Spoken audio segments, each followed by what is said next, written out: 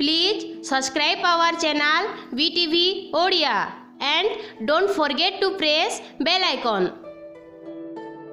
ସରକାରୀ ନୀତି ନିୟମ ଅନୁସାରେ ସବୁଠାରେ ଚାଲିଛି ମା ଦୁର୍ଗାଙ୍କ ପୂଜା ସେହିପରି ସୁବର୍ଣ୍ଣପୁର ଜିଲ୍ଲା ତରଭା ଦୁର୍ଗା ମଣ୍ଡପ ପୂଜା କମିଟି ଆନୁକୂଲ୍ୟରେ ସାର୍ବଜନୀନ ଦୁର୍ଗା ପୂଜା କରୋନା କଟକଣା ମଧ୍ୟରେ ପାଳିତ ହେଉଛି ଗତଥର ଭଳି ଚଳିତ ବର୍ଷ ମଧ୍ୟ କର୍ତ୍ତା ଭାବେ ଯୁବ ବ୍ୟବସାୟୀ ଆକାଶ କୁମାର ସାହୁ ଏବଂ ତାଙ୍କ ଧର୍ମପତ୍ନୀ ଲକ୍ଷ୍ମୀ ସାହୁ ପୂଜାର୍ଚ୍ଚନାର ଭାର ହାତକୁ ନେଇଛନ୍ତି ମୁଖ୍ୟ ପୂଜକ ଭାବେ କମଳାକାନ୍ତ ମିଶ୍ର ଦାୟିତ୍ୱ ତୋଳାଉଥିବା ବେଳେ ଚଣ୍ଡିପାଠ କରୁଛନ୍ତି ପୂଜକ ଯାଜ୍ଞସେନ ମିଶ୍ର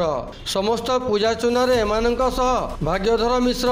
ସୀତାରାମ ମିଶ୍ର ଏବଂ ଚୈତନ୍ୟ ମିଶ୍ର ପୂଜକ ଭାବେ କାର୍ଯ୍ୟ ତୁଳାଉଛନ୍ତି ପୂଜା ମଣ୍ଡପର ସୁପରିଚାଳନାରେ ବିଜୟ ମହଲା ବିହାରୀ ରଣା ଉମାକାନ୍ତ ସାହୁ ଏବଂ ପୁରୁଷୋତ୍ତମ ନାୟକ ପ୍ରମୁଖ ସହଯୋଗ କରୁଛନ୍ତି ତରଭା ସହରରେ ଶାନ୍ତିପୂର୍ଣ୍ଣ ଭାବେ ପ୍ରତିବର୍ଷ ସାର୍ବଜନୀନ ଦୁର୍ଗାପୂଜା ବହୁ ଆଡମ୍ବରରେ ପାଳିତ ହୋଇଥାଏ କିନ୍ତୁ କରୋନା କଟକଣା ମଧ୍ୟରେ ସୀମିତ ସଂଖ୍ୟାରେ ସମସ୍ତ ରୀତିନୀତି ପାଳନ କରାଯାଉଥିବା କର୍ତ୍ତା ଆକାଶ କୁମାର ସାହୁ ପ୍ରକାଶ କରିଛନ୍ତି ମା ଦୁର୍ଗାଙ୍କ ଆଶୀର୍ବାଦ ରହିଲେ ଏ ଦୁନିଆରୁ କରୋନା ମହାମାରୀ ଦୂର ହୋଇଯିବ ଏବଂ ପୁନଃ ମାଙ୍କ ପୂଜା ଭବ୍ୟ ଆୟୋଜନରେ କରାଯିବ ବୋଲି କମିଟି ପକ୍ଷରୁ କୁହାଯାଇଛି